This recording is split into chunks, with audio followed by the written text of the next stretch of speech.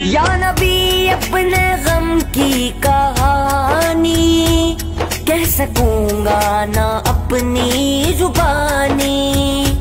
बिन कहे ही मेरी लाज रख लो, मैं सिसकती हुई